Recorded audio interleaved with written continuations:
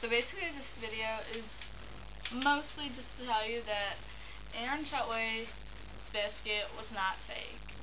Um,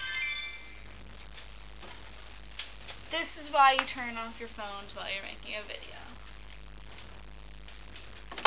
Anyway, it was not fake. I know him. Um, in summer gym, they let him try it again, and he shot it. And he shot, was only allowed three times, and it hit the backboard every single time. And that was pretty cool. Second, um, subscribe to It's Just Jake TV. It's really awesome. He's my friend. Go check him out. Um, and thirdly, I'm going to be posting a new video very shortly. Um, a guitar video, and uh, I have a movie idea. Hopefully I'm going to get Jake to be in it too. Alright guys, thanks for watching.